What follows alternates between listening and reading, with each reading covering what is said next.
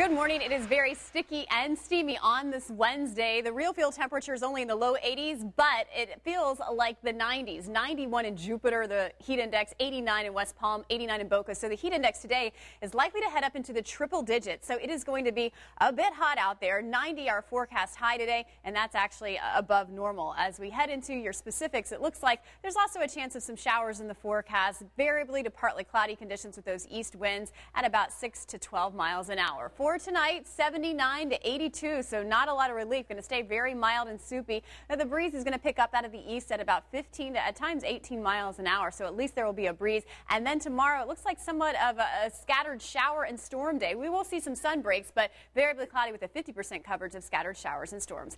Make it a great next couple days.